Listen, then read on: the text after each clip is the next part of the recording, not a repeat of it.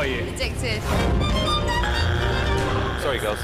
We want the girl to come out. We think you're really good. Do you want to come back tomorrow? Yes or no? Yes, I will. It's going to be the best decision you ever made. That was phenomenal. Three yeses. I can't believe I'm in the semi-finals. When Simon asked me to come as a solo act, I was really speechless. Leaving Janine behind was the most difficult decision that I had to make in my life. The thing about tonight is that she's now on her own.